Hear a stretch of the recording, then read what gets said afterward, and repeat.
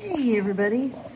After I made a video the other day about powdery mildew, it seems like there's a little confusion in the comments about the difference between powdery mildew, farina, and mealybugs. So a lot of succulents have a natural powdery coating on their leaves, such as this. You see how you can touch it. You really don't want to mess it up because it protects them from the sun, but I'm doing this to show you. So many succulents have this farina. Like for example, here is an afterglow.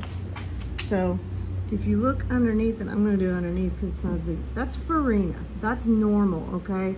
The other day when I was at the store, I saw a lot of plants that were infected with powdery mildew and a lot of you guys were saying, well, succulents have a natural powdery coating. And yes, they do. Um, but powdery mildew looks totally different. It's a fungal infection and it spreads very rapidly and even the spores can get on your clothes. So I'm gonna show you some pictures of powdery mildew. What it looks cottony kind of, but there's actually little white specks. I don't have any in here with powdery mildew right now, but that's because if you see any, you need to get rid of it real quick.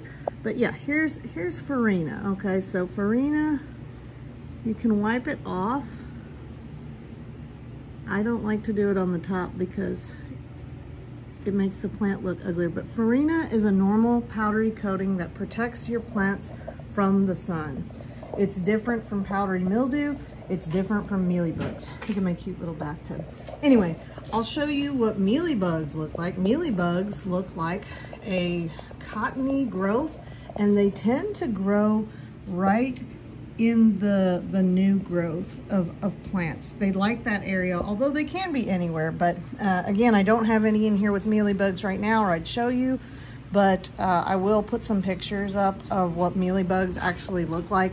But they're three distinct things, and once you've seen them a lot, um, you can you can easily tell the difference. It's like night and day. So Anyway, just want to let you know, I was going to do a different video today, and I might still do it, but I did want to clear that up because there can be some confusion when it comes to farina. So farina is a normally uh, occurring powdery coating on many types of succulents. So don't go through and touch people's succulents like this. They're going to get mad. But anyway, thank you guys for watching as always. Uh oh I dropped some pots. Thank you guys as always for watching. I am getting really close to 9,000 subscribers. I think I only have like, only need 25 more.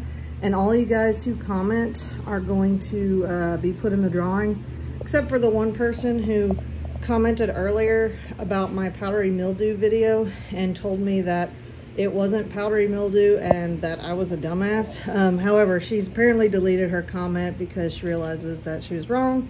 Uh, anyway, moving on there's always going to be people like that you just got to move on.